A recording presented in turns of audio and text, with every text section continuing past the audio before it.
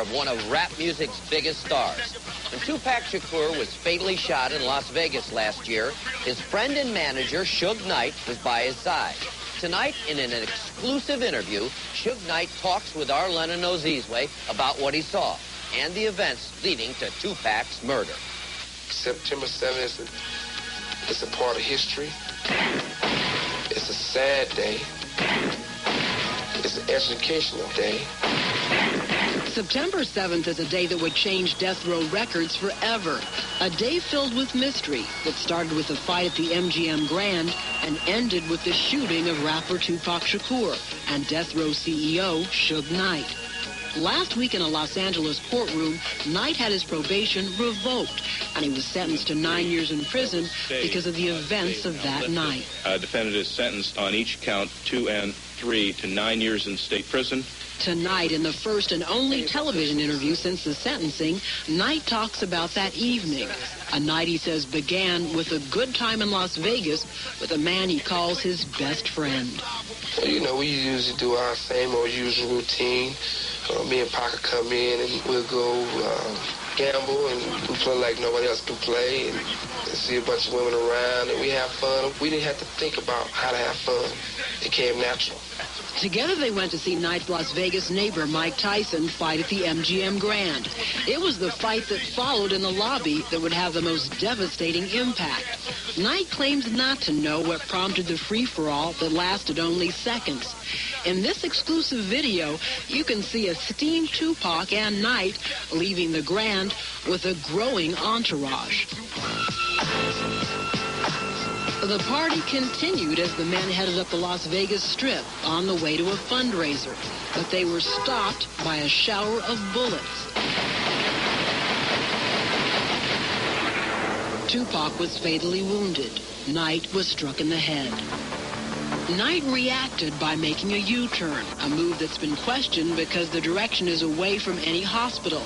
In our interview, Knight defended his action. How many people you know will get shot in their head where it fractured their skull instead and, and instead of just taking off driving and thinking about their budget to make sure they're all right. Do you think any person gets shot in the head can say, oh, uh, let me see the quickest way to get to the hospital? The average person, I think, would be dead. We asked Knight who killed Tupac. He says America's Most Wanted has already revealed the answer to that question. Whatever you have, your show have, and the, the police have, seem like you guys had everything laid out already, and you guys asking questions that you guys already know the answer to. He's referring to the affidavit America's Most Wanted obtained last month. It says confidential informants have identified this man, Orlando Anderson, also known as Baby Lane, as Tupac's killer. Anderson is the same man who was the target of the fight at the MGM Grand. He's denied any involvement in the shooting, and so far neither Anderson or anyone else has been charged in Tupac's killing. But suspicion is centered on at least one other character, Suge Knight himself. There's another theory, and we even had tips at the show. Mm-hmm. People say that you're behind the killing of Tupac. Okay. Let's, once again, let's use common sense. One, I'm I'm gonna be behind killing my best friend and tell him to shoot me in my head. Just shoot me in my head. Make sure you hit me in my head for it can look good. That's crazy. I've had people stop me on the street saying Suge Knight did it, didn't he? One of the reasons they say is Tupac was fixing to leave Death Row Records. Right. One of the things is this. I can guarantee you this. If you look at any interview that Tupac did, if you look at any video, any TV show he did, one thing he always did was praise his death row, and we, me and him praised each other. Knight says he's disappointed that Tupac's mother has said Death Row cheated her son. When I was in jail, I gave her a check for $3 million. Plus, also, you got the paperwork right there that you can show the screen, the camera, the world.